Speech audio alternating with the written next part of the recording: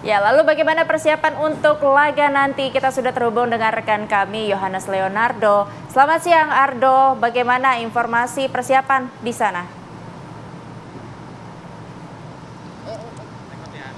Ya, selamat sore, Ana, Yohana, dan juga pemirsa. Memang euforia pertandingan tim nasional Indonesia kontra timnas Irak yang akan berlangsung pada pukul 16 sore waktu Indonesia Barat nanti di Stadion Utama Gelora Bung Karno, Jakarta Selatan ini memang sudah terasa sejak saat ini satu jam menjelang pertandingan meskipun pertandingan masih akan berlangsung kurang lebih satu jam lagi namun antrian belakang saya sudah mengular bahkan sejak open gate dibuka pada pukul 12 siang waktu Indonesia Barat dan sudah bersama dengan kami pendukung tim nasional Indonesia yang akan kami tanyakan seperti apa semangat maupun juga optimisme mereka menghadapi Irak yang notabene merupakan pemuncak klasemen di grup F kualifikasi Piala Dunia zona Asia. Selamat sore. Selamat sore. Mas, dengan Mas siapa ini? Mas Anton. Kalau yang ini dengan Mas siapa? Dengan Pak Tri GBK.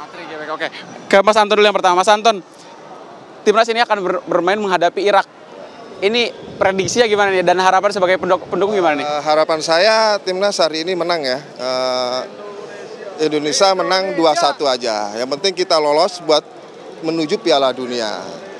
Oke, karena memang satu kemenangan lagi akan memastikan lolos ke ronde keempat kualifikasi zona Asia. Lalu kemudian juga Mas Ri, eh, kalau Anda sendiri melihat pertandingan ini, siapa pemain favorit Anda dan prediksi skornya berapa?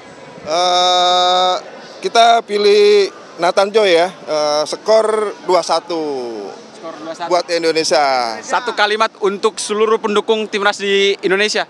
Garuda di dadaku menuju Piala Dunia. Luar biasa optimisme begitu tinggi saya dari dari saya Mas Anton tadi salah satu pendukung yang datang jauh-jauh dari Surabaya. Yang kedua kita bergeser ke Pak Tri. Selamat sore Pak Tri.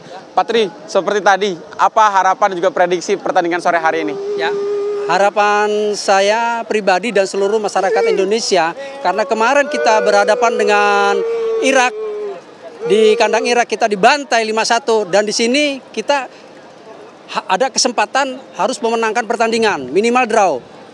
Tapi harga mati harus menang karena kita akan berhadapan dengan tim Filipina. Karena Filipina juga tidak bisa dianggap enteng. Oke. Okay. Uh, eh, cukup optimis tadi, tapi kalau saya boleh bergeser, siapa pemain favoritnya dan uh, kenapa pilih pemain favoritnya nih? Ya, saya jujur aja dengan kedatangannya banyak pemain-pemain natural yaitu seperti Orat Mangun. Saya sangat mengharapkan sekali Orat Mangun bisa mencetak gol waktu lawan Vietnam. Oke, Mas Tri, ini jauh-jauh dari Kota Lampung ya? ya? Jauh dari Kota Lampung. Ya, betul dari Lampung. Oke, baik terima kasih. Selamat Oke, siap.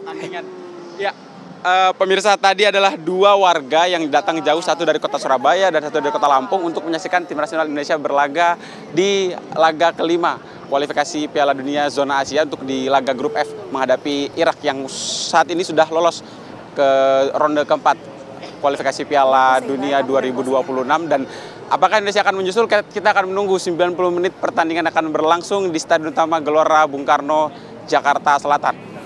Kembali ke studio, Ana dan juga Yohana.